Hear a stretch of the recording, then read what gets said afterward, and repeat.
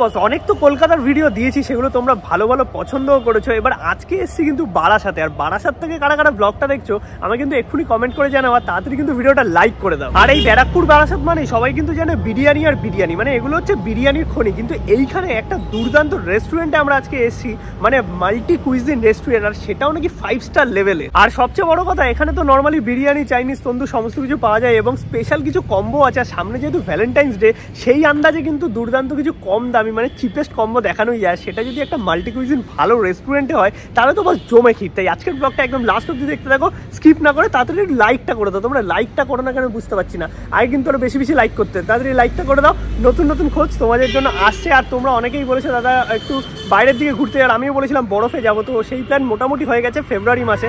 কোথায় যাচ্ছি কেউ কি গেস করতে পারছ? কমেন্টে জানাও তো, আমি জার্নি চ্যানেলে দিয়েছিলাম একটা পোল আর আজকে কিন্তু আমরা চলে এসেছি বারাসাতের দারচিনি রেস্টুরেন্টে এইদিকে হচ্ছে চাপাডালি মোড়, বারাসাত। জাস্ট একটুখানি হেঁটে আসতে হবে। অটো স্ট্যান্ডটার সামনেই হচ্ছে দারচিনি মাল্টি কুইজিন রেস্টুরেন্ট যেখানে কিন্তু দুর্দান্ত খাবার দাবার পাওয়া যায়, তাও আবার কম দামে, আমি যতটা জানি। আর এখানে ফোন নাম্বার দেওয়া আছে, দেখতে পাচ্ছ গুগল ম্যাপের লিঙ্ক ডেসক্রিপশানে দেওয়া থাকবে চেক করে নিও।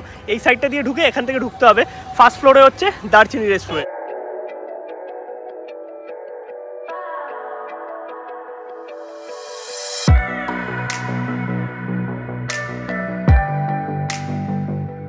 অলরাইট তো ফাইনালি আমরা চলে এসেছি দার্চিনি রেস্টুরেন্টের ভেতর। আর সিরিয়াসলি বলছি বারাসাতে অনেক ভিডিও হয়তো করেছি, আর এইসব জায়গা ফেমাস ফর বিরিয়ানি, কিন্তু এইরকম ফাইন ডাইনিং রেস্টুরেন্ট সত্যিকারে বারাসাতে কিন্তু খুব কমই আছে। মানে আমি তো পার্সোনালি দেখিনি, তোমরা কেউ জানলে কমেন্টে জানাতে পারো। বাট এখানে ফাইন ডাইনিং বলে যে খুব আহামরি দাম আছে খাবারের সেটাও নয়।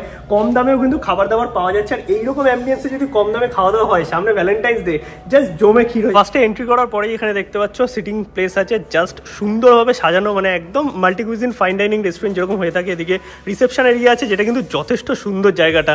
আর এইখানটা হচ্ছে লাইফ কিচেন তোমরা দেখতেই পাবে কি খাবার দাবার তৈরি হচ্ছে।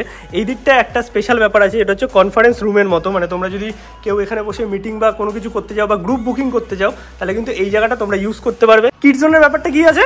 মানে এইটা তো প্রথমবার দেখলাম কোথাও তো মনে হয় না সেরকম তারা একসাথে খাওয়া দাওয়া করলে একটু প্রবলেম হয় ওরা একটু আচ্ছা মানে এখানে পুরো একদম সমস্ত অ্যারেঞ্জমেন্ট আছে দেখতে পাচ্ছ বাচ্চাদের খেলাধুলা করার জন্য যেটা আমার খুব ইউনিক লেগেছে। ফার্স্ট ইমপ্রেশন দুর্দান্ত দার্চিনি রেস্টুরেন্টের এবার খাবার দাবার কি পাওয়া যায় এবং স্পেশালি কিছু কম্বো এখানে আছে যেগুলো তোমাদের দেখাবো। লাস্ট অব্দি ব্লগটা দেখতে থাকো। আর দেখো যেহেতু একটু গরম গরম পড়ে গেছে মানে হালকা করে দুটো আমরা মকটেল নিয়েছি আর এখানে দেখতে পাচ্ছ একটা জুসও নিয়েছি যেখানে কিন্তু একদম ফ্রেশ ফ্রুট কেটে জুসটা কিন্তু বানিয়ে দেয়। মানে কোনো রকম কেমিক্যাল বা ওই জুসের যেগুলো মানে কিনতে পাওয়া যায় মার্কেটে সেইগুলো দিয়ে করে না। যেটা একটা বেশ ভালো জিনিস লাগল। এটা কিন্তু সচরাচর খুব কম রেস্টুরেন্টেই দেখা যায়। আর দামও কিন্তু বেশি না। আমি দেখলাম আশি, পঁচাশি, দেড়শো এর মধ্যেই।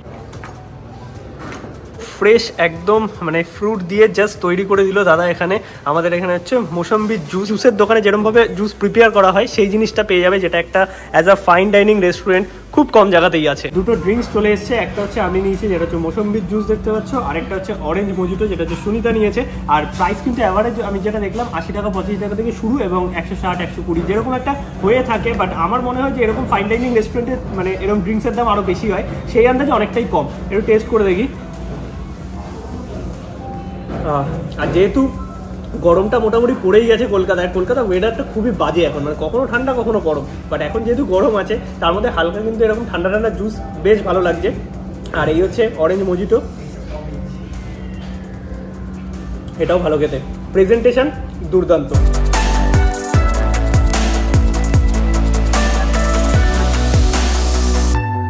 অলরাইট তো ফাইনালি আমাদের কাছে খাবার দাবার চলে এসেছে। আর বেসিক্যালি আমি কম্বো ট্রাই করতে এসেছিলাম এখানে মানে স্পেশাল কিছু কম্বো আছে মানে অনেক রকমের আছে। আমি তো দুজন আছি, তাই দুটো নিয়েছি।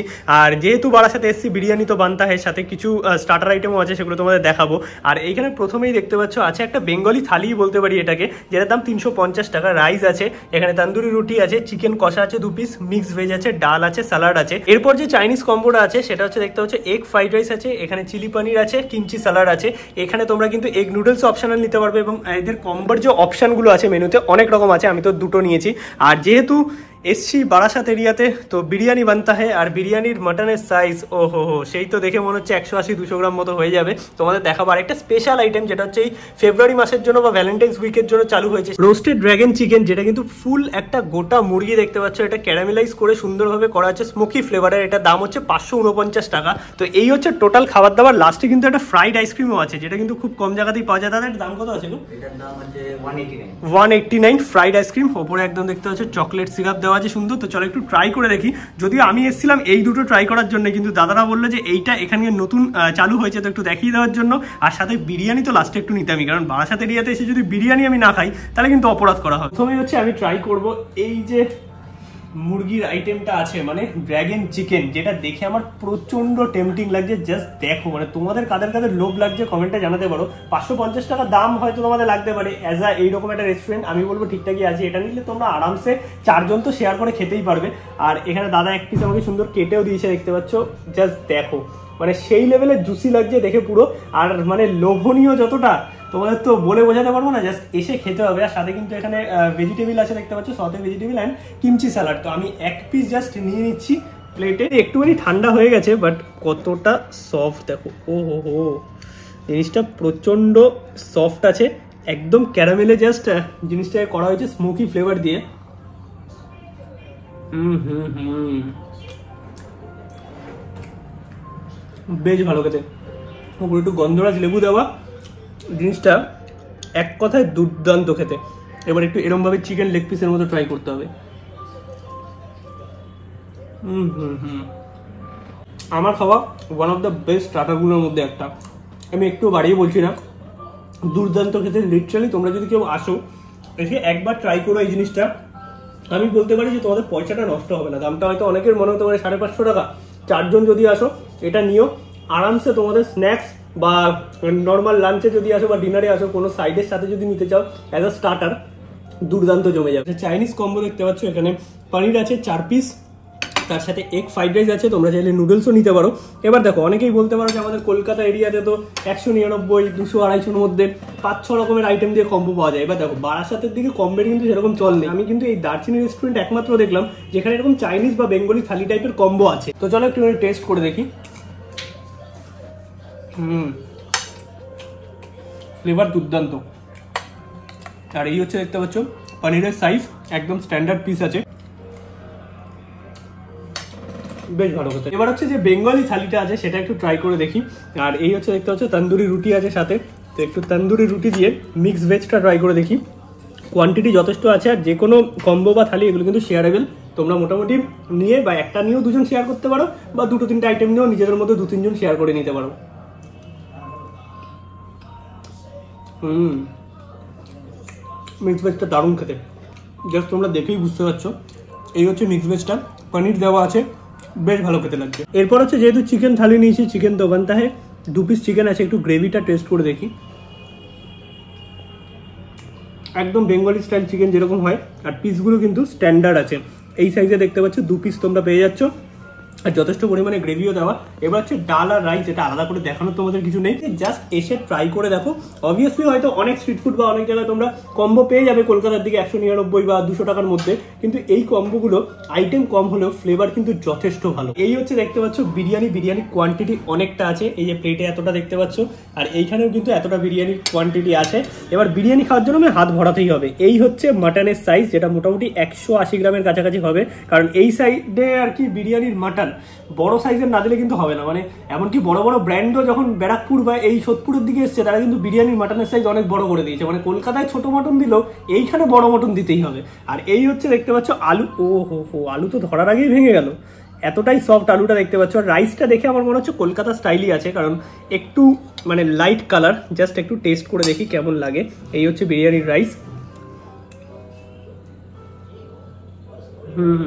আর বিরিয়ানিটা নেওয়ার আগে দাদার সাথে আমার কথা হচ্ছিল। দাদা বলছিল যে এটার মধ্যে একটু আর্সেলান আমিনিয়ার টাচ আছে। একদম আমি প্রথম বাইটে যেটুকু বুঝতে পারলাম, অনেকটা ওই রকম টাইপেরই মানে কলকাতা বিরিয়ানি যেরকম হয় সেটাই।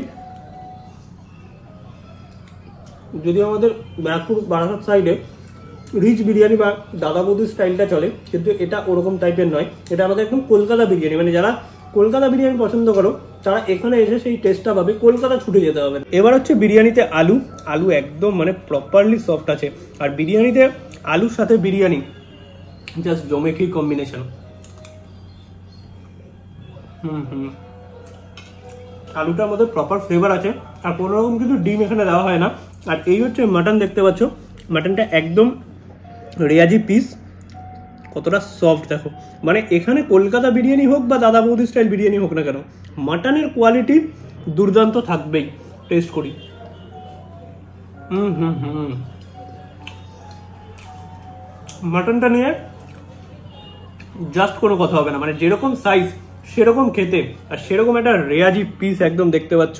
জাস্ট মানে তুলতুলে মাটন যাকে বলে এই রকম লেভেলের স্টফ ফাইনালি এখানে দেখতে পাচ্ছ লাস্টে ফ্রাইড আইসক্রিম আছে আর এটা দাম হচ্ছে ওয়ান এইটটি নাইন এটা খাবে তো সুনিতা। ও বা ফ্রাইড আইসক্রিম চুপসে গেল পুরো। কেমন খেতে বলো খেয়ে? চকলেট সিরাপ দেওয়া পুরে ওকে টেস্ট করো। কেমন? ভালো। অলরাইট তো ফাইনালি আমাদের খাওয়া দাওয়া কমপ্লিট আর বেরোলাম জাস্ট কেমন লাগল বলো? ভালো। সব থেকে বেশি ভালো লেগেছে আমার এটা ফ্রাইড রাইস ওটা সিরিয়াসলি সেরা ছিল, আর যেটা ওই হোল চিকেনটা ছিল, সেটা মারাত্মক খেতে ছিল বাকি তো এখানে কম্বো থেকে শুরু করে সব কিছুই আছে। এবার অনেকের মনে হতে পারে যে দামটা একটু বেশি, সেটা আমিও পার্সোনালি বলছি but as a multicuisine restaurant এরকম এরকম অ্যাম্বিয়েন্সের সাথে এবার এরিয়াটা ম্যাটার করে অবভিয়াসলি কিন্তু কলকাতা হলে আমি বলব এটা কিন্তু দাম ঠিকঠাকই ছিল। বাকি খাবার দাবারের টেস্ট যদি বলতে হয়, একদম পারফেক্ট আছে। মানে তোমরা যারা এসে মোটামুটি আন্ডার পাঁচশো টাকার মতো দুজনকে তিনজন আরামসে জমিয়ে খেতে পারো। খাবার দাবারের কোয়ালিটি নো ডাউট ভালো। যারা একটু মানে প্রিমিয়াম রেস্টুরেন্টে খাওয়া দাওয়া পছন্দ করো, তাদের কলকাতা ছুটে যেতে হবে না, বারাসাতেই কিন্তু পেয়ে যাবে।